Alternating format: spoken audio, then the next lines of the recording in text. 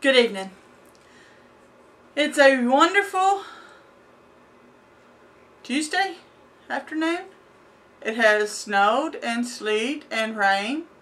Woke up this morning and it was about 50 degrees outside, about 4.30 this morning. By the time I got done with morning bus duty at 7.45, it was like 30-ish, about 30 degrees outside, 30, 32. It got cold quick. and it's staying, seems like it's hovered around the low 30s all day. And it started out raining, then it sleeted, then it snowed a little bit, then go back to sleet, then go back to snow. It's life in Tennessee. You can have three different seasons all in one. The wind has blowed really good today. I sat down today and started reading chapter 10 because it's December the 10th. And the first thing I was reading about was um, how the harvest was truly great, but the laborers are few. And I thought how well that goes with us being um, growing vegetables and fruits and just being people who garden and things like that.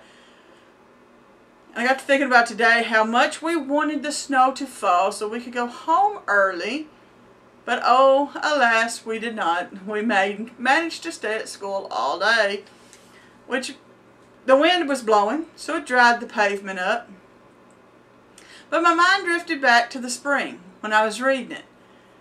And a lot of chapter 10 is about being a good person, being a steward for Christ, being a laborer in the kingdom of God. And I thought about all the things that Brett grew this summer. All the different vegetables, all the different fruits and and it just seems like every day there was something else to get out of the garden. And his harvest was plentiful, and his labor was few. He didn't have a lot of people jumping on board to come pick the garden. He didn't have a lot of people in his house jumping on board to pick the garden. But the garden blessed, and it continued blessing, and it continued blessing. And the more he worked at it, and the more he tried to make it successful, the more God blessed it. And I say God blessed it because even when it was raining and when it didn't rain, he still had vegetables.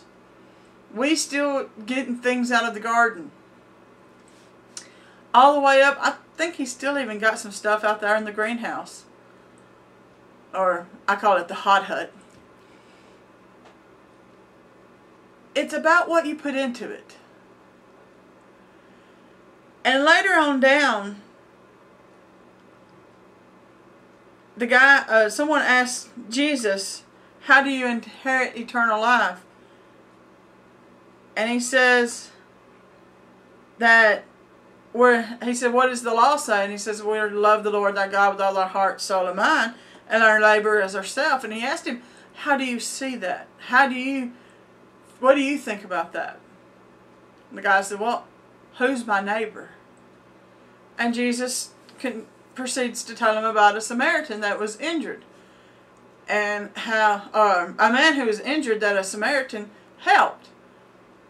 And he says, then that's how we're supposed to be. We're supposed to help those, even when it's people that doesn't want to, or doesn't expect us to help them. Even when it's people who wouldn't normally treat us with respect. It's even when people make fun of you, you're still to help them in some way. And, I mean,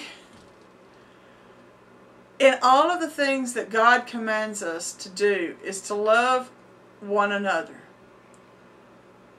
Love your neighbor as yourself. And I find that sometimes can be the hardest. Loving those who are hateful and mad and angry at me. And being someone who they see Jesus through because they see the love of Christ in my life. Challenging, very challenging, to love those who don't love us. But kind of sat beside my tree today. Because it is Christmas. It's the Christmas time of year. It's a time where we love each other and help each other and consider one another. I say it a lot. And it feels like this is just the way I close my videos, but it's not. When I say I believe in you, I do actually believe in you. Even though a lot of people that watch my videos, I don't know. A lot of people who watch me and Brett, who turn into Brett and Cindy's TN Living, we've never met. We only know as a subscriber who watched our video. But we choose to believe in everyone because no matter who you are, you're God's child. And that makes you special, that makes you unique, and that makes you worth being someone who's worthy of other people's respect and love. Because God chose you. I choose to believe in you. God bless.